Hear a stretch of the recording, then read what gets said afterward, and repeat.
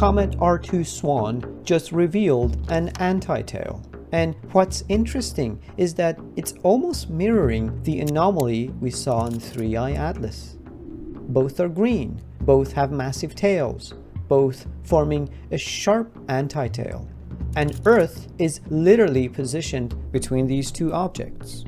Maybe coincidence, but it is indeed unusual. People still think anti-tails are normal.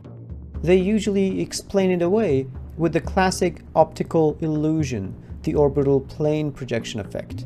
But in the cases of 3i Atlas and R2 Swan, this is just simply not the case. The structure is pointing toward the sun, which is not what a simple line of sight trick would produce.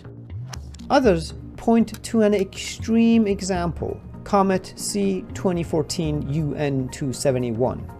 Yes, that comet showed a subtle sunward feature, but that's not a reasonable comparison. UN 271 is the largest comet ever observed, around 140 kilometers wide, compared to the 5 kilometer estimates for 3i Atlas. A body that massive absorbs far more heat, and its outgassing becomes chaotic enough to nudge material in all directions, even slightly sunward. And more importantly, UN 271 was 11 to 12 astronomical unit from the sun when this happened. Out there, solar wind is weak and dust can drift slowly and randomly.